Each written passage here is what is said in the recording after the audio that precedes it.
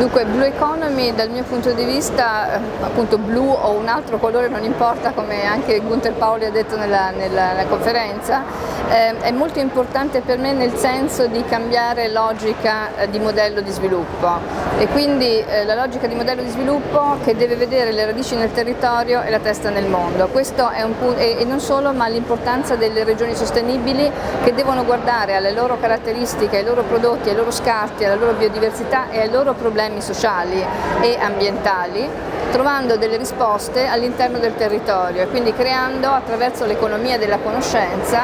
eh, soluzioni che possano appunto risolvere il problema e quindi i prodotti nuovi che andiamo a sviluppare non sono un altro prodotto eh, che si accumula con gli altri, ma è un'opportunità per risolvere problemi sociali, ambientali e economici nella logica del vivere nel limite del pianeta. È Expo che fa qualcosa per, per il Paese, quindi siamo tutti molto contenti di, di questa iniziativa. Eh, il, noi siamo presenti in una serie di iniziative, certamente la più importante è tutto il prodotto di eh, food service, quindi piatti, bicchieri, posate eccetera, eh, che stiamo utilizzando eh, attraverso Italy, quindi Italy ha scelto questi prodotti e sono, è la prima volta che questo tipo di prodotti arriva sul mercato, perché per esempio le posate c'erano già ma i piatti per esempio resistenti alla temperatura eh, che hanno caratteristiche come, anzi anche migliorative rispetto ai piatti tradizionali e poi degradabili in un ciclo di compostaggio è la prima volta che vengono inseriti.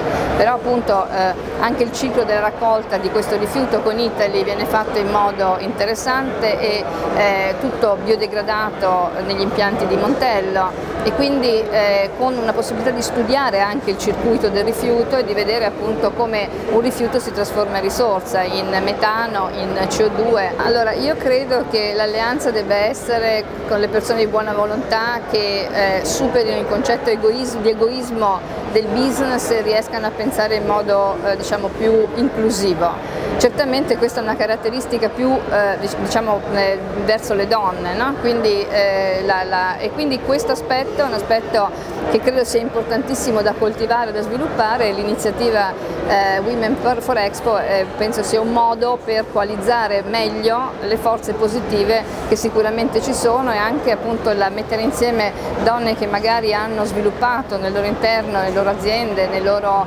nel, nei loro territori iniziative e metterle a sistema può aiutare moltissimo a creare una casistica interessante da, eh, da eh, utilizzare per la declinazione di ciò che bioeconomia significa a livello europeo perché ricordiamoci che quest'anno abbiamo COP21, abbiamo il Green Act per l'Italia, abbiamo molte iniziative importanti, è un momento decisivo per avere una visione più lunga, magari possiamo aiutare come donne ad, ad aumentare la lunghezza di questa visione.